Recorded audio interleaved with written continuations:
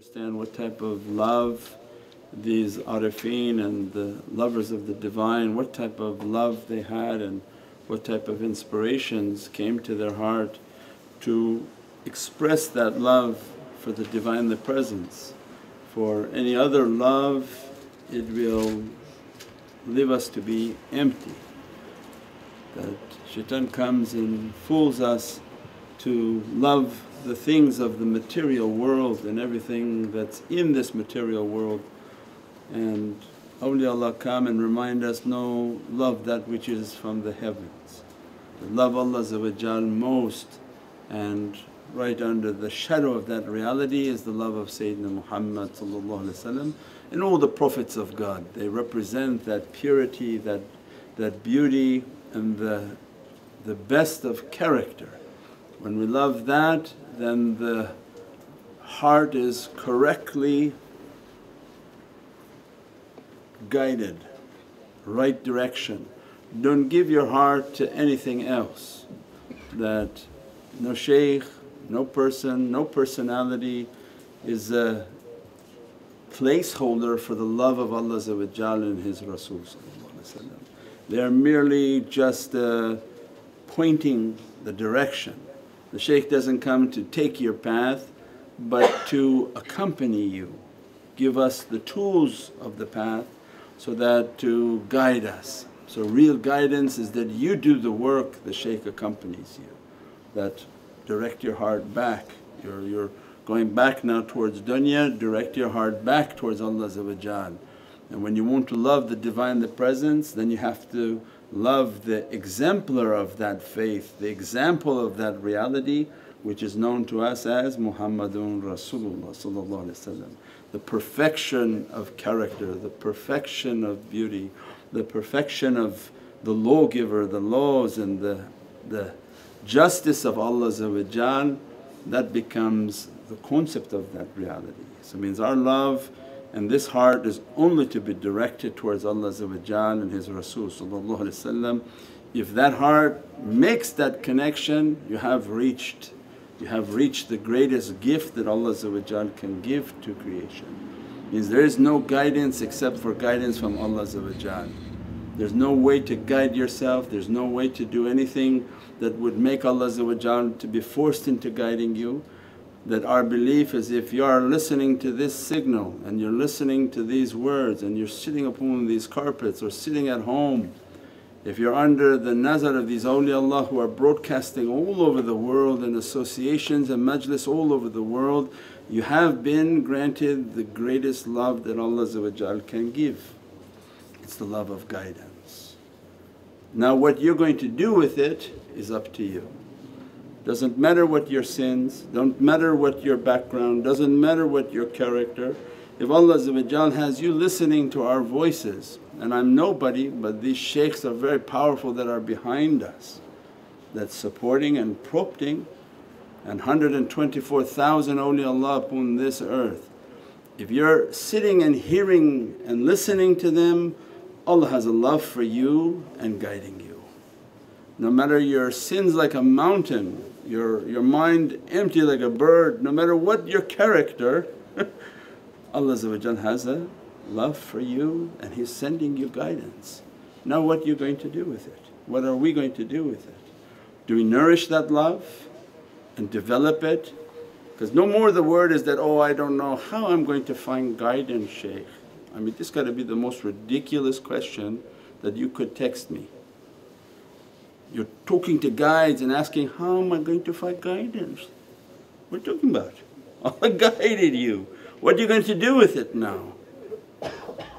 You're going to nourish it, develop it. It's like Allah give you a seed in the soil and it's just now sprouting. It's very delicate this relationship. You're going to water it, you're going to nourish it with love and muhabbat, then they become and teach you, yeah. Build this love of Sayyidina Muhammad praise, make durood al-sharif, attend the majlis and the associations of love whether you can sit on the carpet or listen through the internet or rebroadcast if it's a different time. Develop and nourish that love like a water that begins to dress upon that fragile little sprout. Because as you water it with your faith and with your love and with your good character and good actions, you see even my actions and my amal are, are, are weak, don't have the strength to pray, don't have the strength to pay, don't have the strength to do all of these things that you have as rules. What was the hadith of Prophet You be with whom you love. InshaAllah will give you more strength. He loved you enough to guide you to even look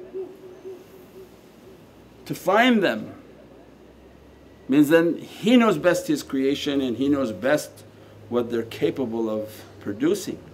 That love is there, it's our responsibility now to nourish it, to do good with it, to develop it and make it to be blossom. Like these awliyaullah their little sprout became like a tree, an evergreen tree that their roots go very deep into their soul and into their reality as a result they're always green, they're always blossoming, they're always giving out what Allah has to offer. Their cup is never empty, their tables are never empty, their pockets are never empty. Everything from them is always alive. The colour of green is the symbol of resurrection that they're at every moment resurrecting with a new tajalli from Allah and as a result they spread that light and that love and that reality to all of humanity. For at every moment humanity is in a state of death and perishing. Surat al-Asr. That you are by your nature at a loss. That from the time Allah sent us we are in a descent falling to all our desires and to all our bad characteristic and Allah sends this najat and this light for us that to be revitalized, renourished, recharged. We pray that Allah open more and more understanding and that that love and that bond to that reality becomes stronger and stronger with the mahfil, with the zikr, with the durood sharif. Before you want anything praise and make salawats, sit into the majlises of mahfil so that they wash you, cleanse you, perfect you so that when you make your request you are clean at that time requesting something from Allah The, the zikr of Allah just we said many times a reminder for myself just sitting and saying Allah and then multiply by a hundred, multiply by 10,000 who are watching what's the weight of that Allah on the scale compared to all the sins of insan? It's nothing in comparison.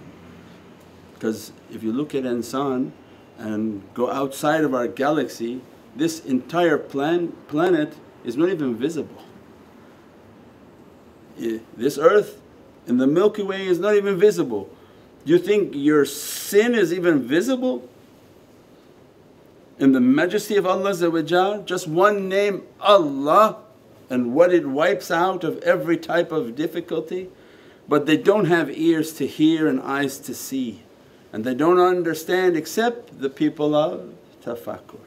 Because when the people of tafakkur Allah open their ears, they hear what people don't hear, open their eyes and they see what people don't see, open their breath and they breathe what people don't understand, speak what others don't understand and can't even speak means all of these realities and senses upon them so that they come to show us that way that Allah is great and what Allah can open is something unimaginable.